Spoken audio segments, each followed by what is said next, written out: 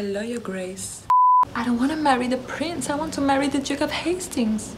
I want to marry the Duke of Hastings. Je suis gênante. Je pense qu'on peut commencer.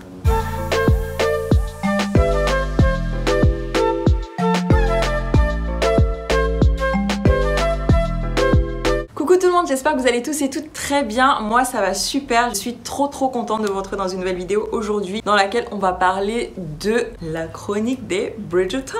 J'ai regardé cette série récemment et j'ai bien aimé. C'était quasiment sûr que euh, j'allais accrocher. Je suis euh, vraiment le public cible pour ce genre de série un peu à l'eau de rose. Donc c'est la dernière série écrite par Chris Van Dunson et produite par Shonda Rhimes. Donc Shonda Rhimes c'est la showrunner de euh, Grey's Anatomy, Scandal, How to Get Away with Murder il me semble. Et la chronique des Bridgerton c'est de base une saga littéraire écrite par Julia Quinn, je sais pas si on dit Queen ou Julia King, qui représente 9 livres. Donc ça pourrait faire l'objet de 9 saisons sur Netflix sachant que la première saison a eu un franc succès, ça a énormément plu. Donc j'ai regardé la série et suite à ça, euh, j'ai lu pas mal de critiques, j'ai regardé des interviews et c'est vrai qu'en fait, il y a pas mal de choses à dire sur cette série. Il y a plusieurs points qui ont été jugés problématiques, notamment par rapport au casting qui a été jugé colorblind, euh, par rapport au colorisme, par rapport aussi à une certaine scène euh, d'abus sexuels. Donc voilà, on va parler de tous ces points dans cette vidéo. Attention, il y aura sûrement des spoilers dans la vidéo, donc si vous n'avez pas vu la série et que vous n'avez pas envie d'être spoilé, je vous recommande de revenir plus tard pour regarder la vidéo.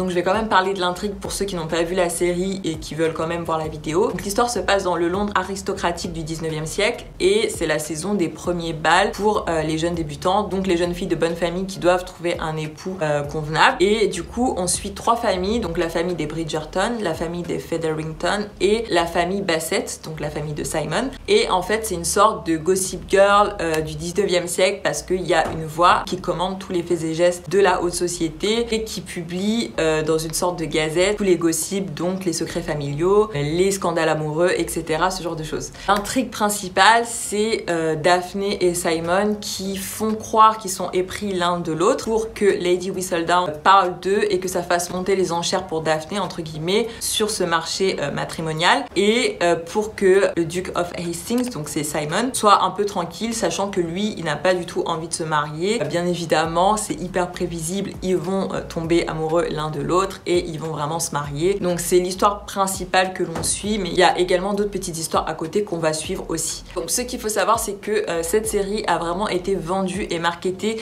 comme une série d'époque qui aborde des problématiques contemporaines, euh, la question du sexisme, les pressions sociales, euh, l'émancipation féminine, l'égalité des sexes, euh, la question du consentement, la question du désir. Ils ont essayé de faire un mix entre séries d'époque et séries progressistes qui abordent des thématiques actuelles. Ils ont également fait le choix d'inclure la question de la diversité, notamment dans leur casting, et c'est le premier point qu'on va aborder.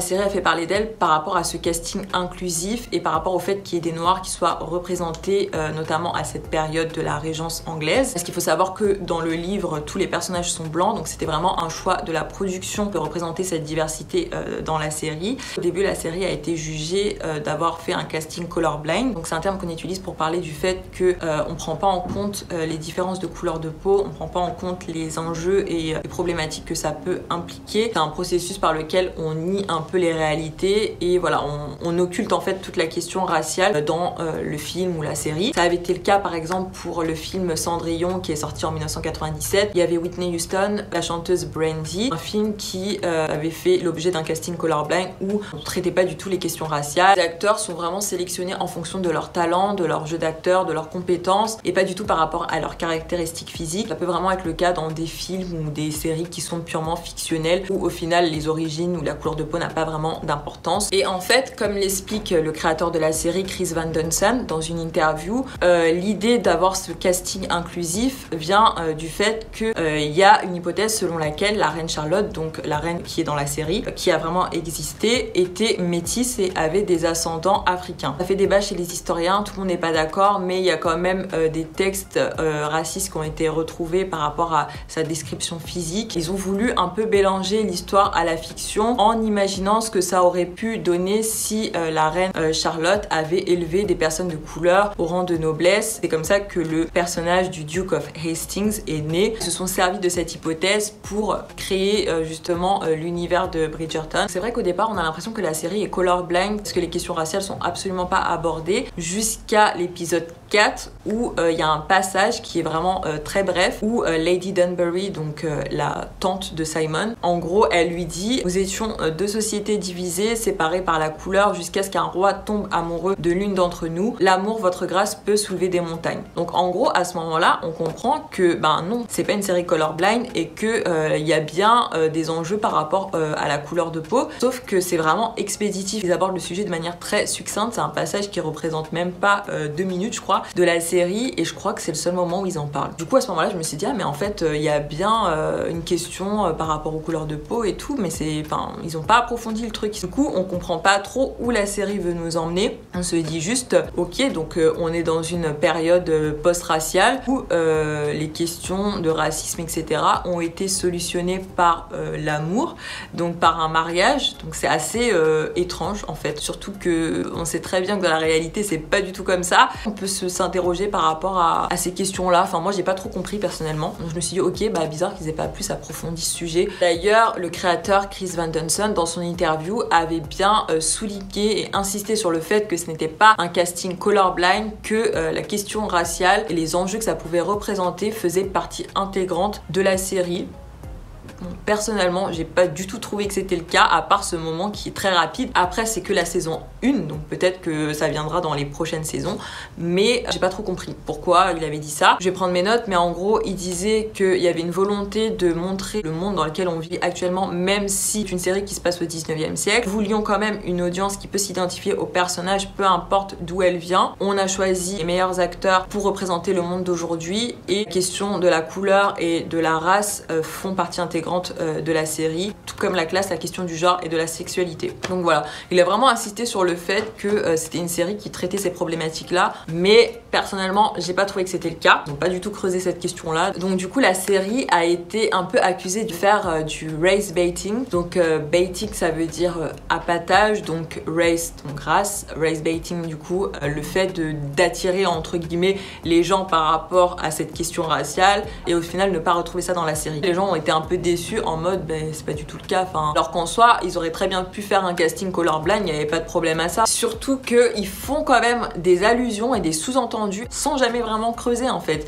Il y a eu bah, du coup le passage avec Lady Dunbury et Simon, et il y a également des passages où on voit le père de Simon être très dur avec lui et lui dire euh, oui, il faut que tu sois parfait, il faut que tu sois irréprochable, ce genre de choses. On pourrait très bien dire ça par rapport au fait qu'il ne soit pas blanc et que du coup ça représente quelque chose. On comprend pas vraiment le message, c'est pas du tout la même chose si tu dis à un enfant euh, tu dois être parfait euh, juste de manière tyrannique ou si tu dis tu dois être parfait, faire deux fois plus d'efforts pour être reconnu et t'intégrer dans la société. Donc là c'est pareil, on comprend pas est-ce qu'ils ont voulu aborder cette question-là sans vraiment creuser ou alors est-ce qu'ils ont juste voulu faire en sorte que le père ait une image super méchante dans la série. En fait, il y a des allusions, du coup, on n'arrive pas vraiment à occulter la question raciale, mais d'un autre côté, c'est pas suffisamment approfondi pour qu'on comprenne vraiment où la série veut nous emmener.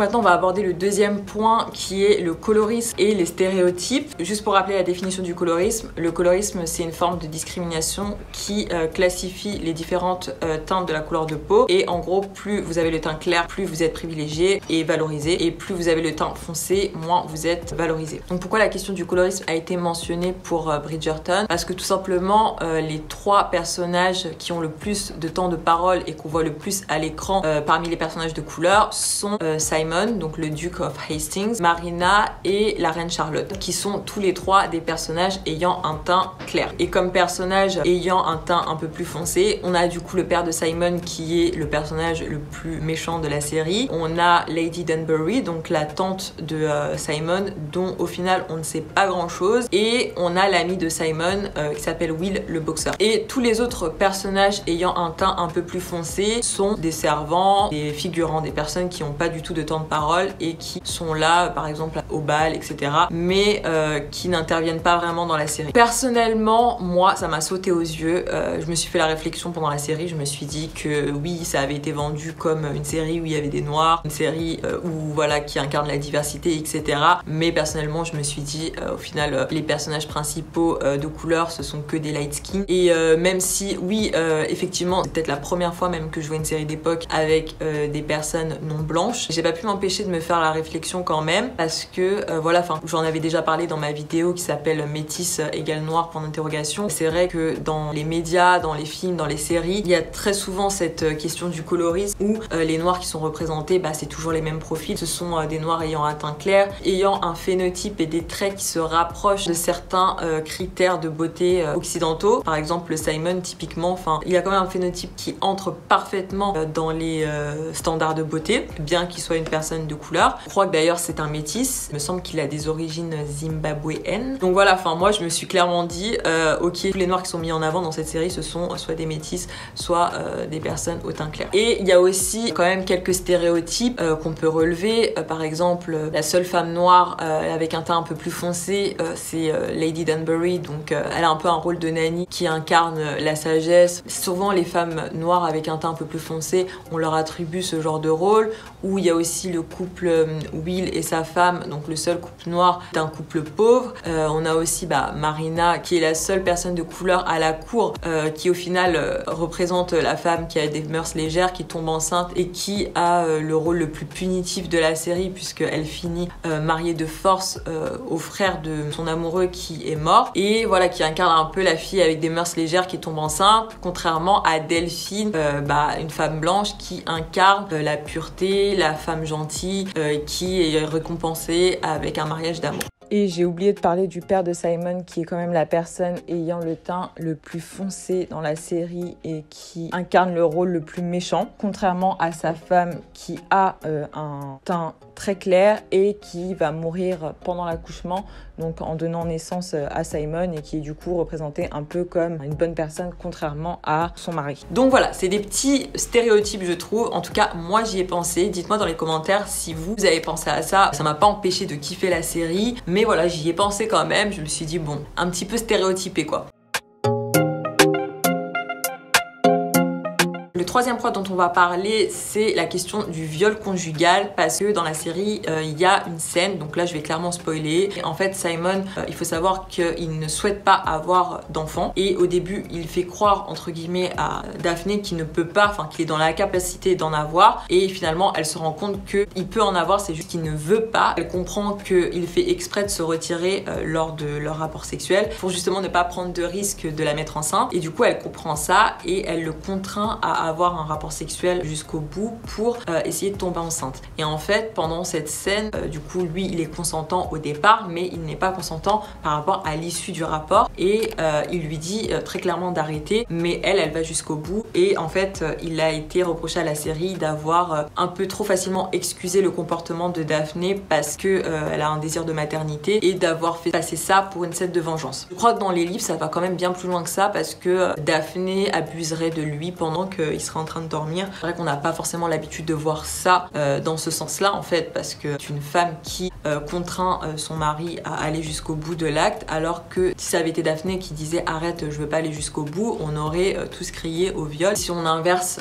les rôles on, voit très clairement qu'il y avait un problème de consentement. Aujourd'hui bah, la question du consentement est très importante. On sait très bien qu'il faut être consentant pendant tout le long du rapport mais d'un autre côté ça se passe au 19e siècle et la question du consentement à cette époque-là elle n'existait même pas, elle n'était même pas conscientisée. Les viols conjugaux arrivaient très euh, fréquemment, donc euh, on a critiqué la série en disant qu'on invisibilisait les émotions de Simon et le traumatisme qu'il aurait pu subir. Ils auraient pu approfondir cette question-là en mettant un passage où Simon et euh, Daphné parlent de ce moment-là, et de manière générale, j'ai quand même trouvé que Daphné avait un comportement assez toxique dans la série, qu'elle avait beaucoup forcé pour cette relation. Euh, il y a un passage où elle ouvre des lettres euh, qui ne lui sont pas destinées, des lettres qui sont destinées à Simon. Se permet de les ouvrir et euh, de les lire, donc j'ai trouvé que son comportement était très intrusif, au-delà du fait qu'elle est aussi forcée pour avoir cet enfant. Après, moi personnellement, j'ai pas trop aimé la manière dont les rapports sexuels sont représentés. De toute façon, en règle générale, j'ai un peu un problème avec ça dans euh, les films et les séries. Et là encore plus, enfin Daphné, elle connaît absolument rien de la sexualité, elle le découvre euh, bah, après sa nuit de noces. Elle passe de fille euh, très très très très innocente à une fille qui a l'air de connaître parfaitement son corps, etc. Ça se passe au 19e siècle, la meuf elle connaît rien, elle sait même pas comment on fait un gosse. Et deux épisodes plus tard, genre limite c'est une bête de sexe, enfin je trouve que j'aurais pu, je sais pas, montrer des insécurités, peut-être montrer l'évolution de comment elle se sent avec sa sexualité parce que là c'est trop romancé en mode bah ouais elle est folle amoureuse donc tout se passe bien et tout. Je trouve que c'est trop l'image qu'on nous vend en fait de la sexualité. Ça c'est souvent le cas dans de nombreux films et de séries, c'est romancé en fait. Là je trouve que justement ça aurait pu être euh, intéressant d'aborder la sexualité différemment dans la mesure où ça se passe au 19e siècle et euh, dans la mesure où elle connaît rien en fait à la sexualité. Parlant, euh, j'ai beaucoup aimé. Je trouvais que c'était super agréable à regarder. Les images sont belles. Euh, j'ai bien aimé bah, les costumes, les décors, etc. Même si apparemment il y avait des anachronismes. Apparemment les corsets n'étaient pas vraiment comme ça à cette époque-là. Mais très clairement, moi je m'en foutais un peu. Visuellement parlant, j'ai beaucoup aimé la série. Histoire d'amour entre le duc et Daphné. Même si c'était très prévisible. Au-delà de l'univers artistique, le fait qu'on puisse comparer ces questions euh, sociales, d'émancipation féminine et tout, notamment avec le personnage d'Héloïse qui représente très clairement la figure féminine de la série. C'est toujours intéressant de pouvoir comparer comment c'était à l'époque avec bah, notre société actuelle. On se rend compte que la place de la femme, elle a trop évolué. C'est hyper intéressant. Donc j'ai bien aimé la série par rapport à ça. Après, ce que j'ai un peu moins aimé, comme je disais, le fait que l'histoire de Daphné et du duc était quand même très prévisible. Contrairement aux autres petites histoires comme Marina ou comme euh, l'histoire avec Anthony, euh, le frère euh, de Daphné. Par contre, pour Lady Whistledown, j'ai absolument pas capté que c'était elle. Je sais pas si c'est moi. J'ai lu sur certaines critiques que c'était hyper prévisible mais moi j'ai pas du tout trouvé que c'était prévisible. Je m'attendais pas du tout à ça. Je pensais que c'était euh, la fille euh, qui parle français, qui fait les robes. je pensais que c'était elle. Donc euh, je trouvais que le secret était bien gardé. Sinon, de manière générale, j'ai trouvé qu'il y avait quelques longueurs, que parfois ça manquait un peu de rebondissement. Surtout au début, j'ai mis du temps à rentrer dans l'histoire. Finalement, petit à petit, j'ai commencé vraiment à être prise par l'intrigue. Mais c'est vrai qu'au début, j'ai trouvé que c'était un peu long. N'hésitez pas à me dire vous ce que vous avez pensé de la série, est-ce que vous avez aimé et pourquoi vous avez aimé? Est-ce que tous les points que j'ai abordés, vous les avez trouvés problématiques ou du tout. Euh, n'hésitez pas à me dire tout ça dans les commentaires. Je vous mets en barre d'infos toutes les sources qui m'ont aidé à faire cette vidéo parce que euh, voilà, comme je disais, j'ai lu des interviews, j'ai regardé des critiques et tout, donc je mets tout ça en barre d'infos. N'hésitez pas à regarder si ça vous intéresse. Sur ce, je vous fais de gros bisous, je vous dis à très vite et surtout prenez soin de vous. Bye